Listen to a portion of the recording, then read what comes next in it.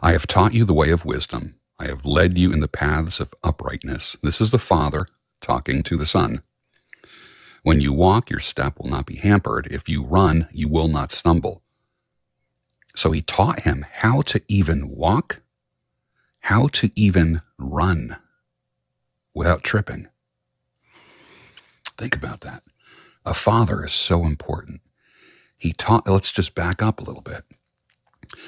Not only did he teach him how to walk and to run, he taught him how to walk and run without stumbling, without stumbling, without tripping. He taught him how to get from A to B without tripping. Wouldn't you like to do that? Wouldn't I have loved to do that, to spend my life instead, you know, going from A to B? I went like this from A whoosh, around, through, back, and then I finally got to B. Wasted time and wasted years because I did not listen to wisdom and insight.